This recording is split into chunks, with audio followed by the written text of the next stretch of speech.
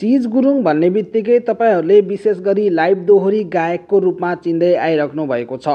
तर चिज गुरुङ लाइभ दोहोरी गायक मात्र नभएर एल्बमहरूमा पनि उत्कृष्ट आवाज भरेर दर्शक श्रोताको प्रिय बनेका छन् भने उनले गाएका गीतहरू पनि लाखौँ करोडौँ भ्युज गएका छन्। आज हामी यस भिडियो अन्तर्गत रहेर गायक चिज गुरुङले आजसम्म गाएका चर्चित पाँचवटा एल्बमहरूको बारेमा चर्चा गर्न गइरहेका छौँ।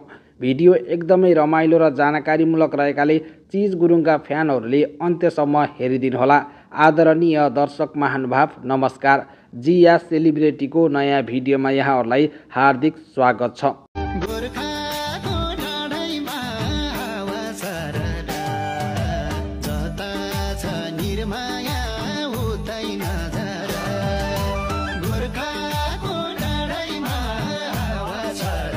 अब लागौँ मुख्य भिडियोतर्फ।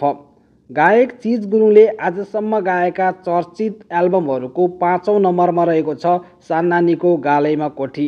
गायक चिज गुरुङ र चर्चित लोक तथा दोहोरी गायिका शान्तिश्री परियारले आजभन्दा करिब दुई वर्ष अगाडि गाएको उक्त गीतलाई आजसम्म युट्युबमा पाँच लाख बाहन्न हजार पटक हेरिएको छ। त्यस्तै चिज गुरुङले गाएको अर्को चर्चित एल्बम रहेको छ चेलीको गुनासो।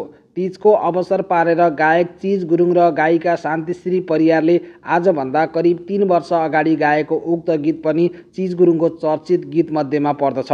आजको मितिसम्म उक्त गीतलाई नौ लाख छ्यात्तर हजार पटक युट्युबमा हेरिएको छ।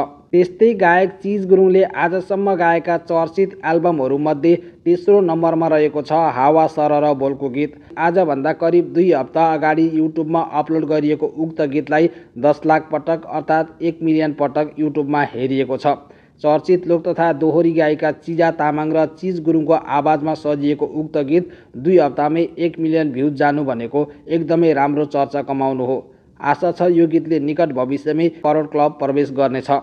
त्यस्तै चिज गुरुङले गाएका चर्चित गीतहरूमध्ये दोस्रो नम्बरमा रहेको छ कलधाराको पानी। आजभन्दा करिब दस महिना अगाडि गायिका मिना लामा र चिज गुरुङको सहकार्यमा उक्त गीत सार्वजनिक गरिएको थियो। आजको मितिसम्म कलधाराको पानी बोलको गीतलाई एघार लाख पटक युट्युबमा हेरिएको छ। त्यस्तै चिज गुरुङले गाएका चर्चित गीतहरूमध्ये पहिलो नम्बरमा रहेको छ गोर्खाली ठाडो भाका। करिब एक वर्ष अगाडि चर्चित लोक तथा दोहोरी गायिका चिजा तामाङ र गायक चिज गुरुङले चिज गुरुङ अफिसियल युट्युब च्यानलबाट सार्वजनिक गरेको उक्त गीतलाई बाह्र लाख पटक युट्युबमा हेरिएको छ। विशेष गरी गोर्खा जिल्लामा प्रचलित रहेको गोर्खाली ठाडो भाकालाई दर्शक श्रोताहरूले अत्याधिक रुचाएको पाइएको छ। यहाँ मैले प्रस्तुत गरेका चिज गुरुङका गीतहरूमध्ये तपाईँहरूलाई सबैभन्दा मनपर्ने गीत कुन हो तल कमेन्ट बक्समा लेखिदिनुहोला।